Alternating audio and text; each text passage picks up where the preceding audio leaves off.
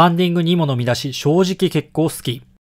はい、こんにちは、116インズです。一度狂った FA 市場はそう簡単に元には戻りません。ウィンターミーティング終わったばかりですが、メッツがブランドン・ニモと8年総額1億6200万ドルの契約に合意したと。8年ですか。ニモに8年契約。ニモの契約はスタートラインが5年1億ドルくらい。で、そこからまあどれだけ年数だったり金額を上げていくかという感じをオフが始まった時点で予想していたんですけれども、8年。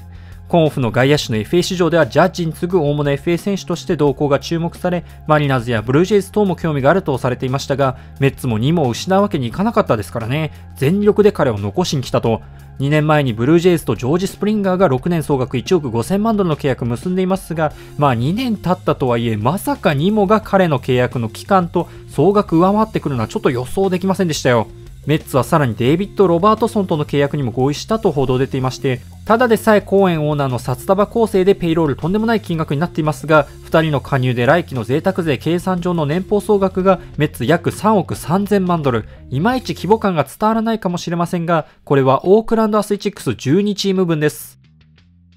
ということでね、ボガーツに続いてまたしてもマリナーズに来て欲しかった選手がマリナーズに来ないこととなりまして、マリナーズの動き方からしてあの欲しいバッターリスト実現しそうにないです。本当にどうしてこうなったニモは今季打率2割7分4厘出塁3割6分7厘ホームラン16本とリードオフタイプとして素晴らしい成績を残していてまたセンターもソリッドに守れる点フリオに何かあった時のバックアップもできる点優秀だと感じていましたが同時に以前もお話ししましたメッツとのマネーゲームになる点実現させるのは相当大変そうと思っていたわけでまあ案の定という感じですね。獲得できるなら一番欲しい選手だったんですけどね。ニモとフリオの上位打線を夢見ましたが、現実にマリナーズニモの姿を見つけることはできませんでした。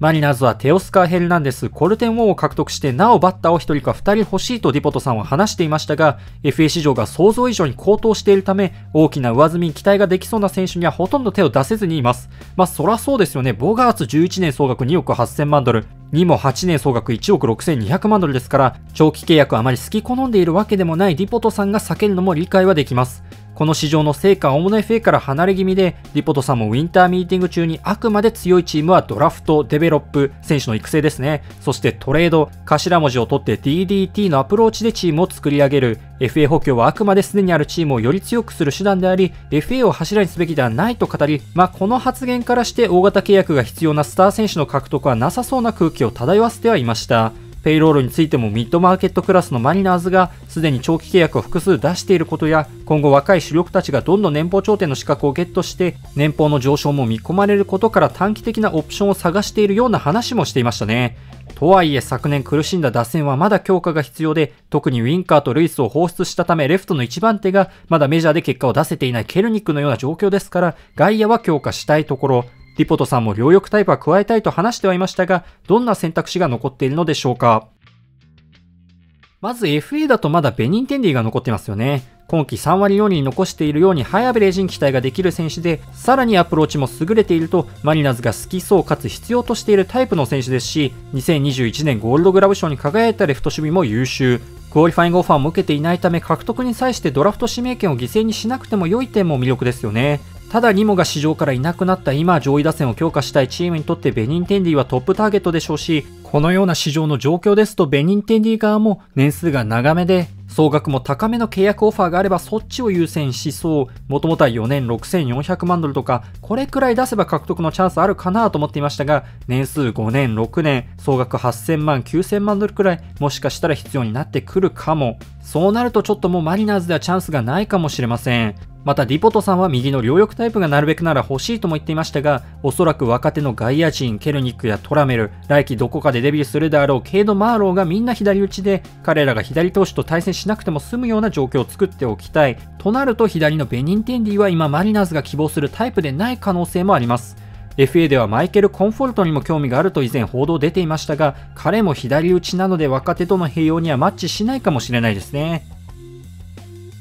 ではトレード市場はどうでしょうか？最近出てるビッグネームだとやはりパイレーツのブライアン・レイノルズ。先日パイレーツとの契約延長が行き詰まりレイノルズがチームに対してトレード要求したと報道が出ていました。レイノルズはマリナーズフロントがずっと欲しがっている選手で、昨年2021年のトレードデッドラインでも狙ったそうですが、見返りにフリオを含む複数のトッププロスペクトを要求されたため断念。オールスターにも選ばれ Wins Above Replacement 6.0を叩き出した2021年と比較して今年は成績を落としましたが、それでも145試合で27本、OPS8 割7厘、 Wins Above Replacement 2.9と悪くない成績ですし、あと3年も保有できるのが強い。センターの守備指標が今季大幅に悪化しましたが、例年はそこまで悪くないので、センターもいけると、通算打率2割8分1厘とアベレージを残せ、20本以上打てるパワーもある。多分今マリナーズが獲得できる可能性のある選手の中では一番現有戦力の上積みに期待ができる選手だと思いますが、ただ見返りがやはり懸念点、昨年のトレードデッドラインから1年半が経ち、成績も今年落としましたので、昨年夏ほどの見返りは要求されないでしょうが、それでもケルニックやマット・ブラッシュのようなメジャーレベルの若手に加えて、ハリー・フォードなどマイナー上位のプロスペクトを複数は含めないと議論のスタートラインにも立てないでしょうし、カスティーヨのトレードでかなりマイナーを削ったマリナーズが果たしてパイレーツを満足させるオファーを提示できるのか、トレード要求されたとはいえ、パイレーツも焦って彼の放出に動くつもりもないようなので、獲得のハードルは依然として高そうです。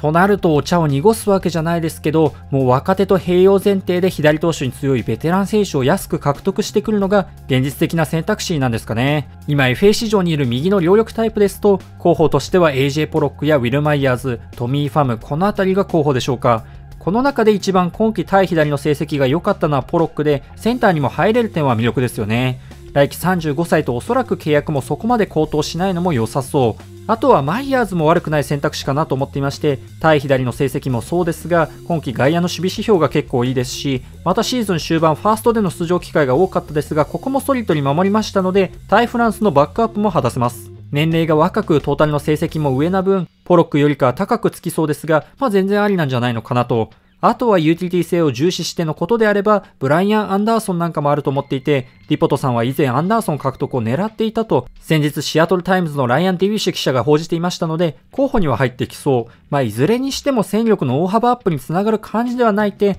ファンとしては物足りなさも正直あるんですが、ディポトさんは基本無理なリスクテイクはしない人なので、まあ、ここに出てきた選手たちあたりで着実に戦力アップを図っていく気がしています。もちろんそう思っていたらいきなりレイノルズぶっ込んできたりするのもディポトさんという人ではあるので確かなことは言えませんが可能性が高そうなのはこっちなのかなとこれだけ札束が飛び交う市場の中でマリナーズの動き方は極めて堅実ではあると思っていますディポトさんは常々長い間勝てるチームを作りたいと明言していますので、そのためにはペイロールの管理、ペイロールの柔軟性を保つことは特にマリナーズのようなチームでは重要であり、だからこそ DDT アプローチに忠実なのだとは思います。ただ一方で難しいのは勝負どころの見極めですよね。リスクを取らないことによるリスクもまたあるわけで、あそこであの選手を取っていたらみたいなことにならないといいんですが、そういう意味では今年の夏カスティを獲得の大勝負に出たディポトさんのことなので、本当に必要と感じた時はちゃんと勝負してくれると信じていますが、今後どう動いてくるでしょうか。ということで今回の動画は以上としたいと思います。今後ですね、MLB に関する動画を上げていきますので、興味のある方ぜひチャンネル登録していただけると幸いです。それではご視聴ありがとうございました。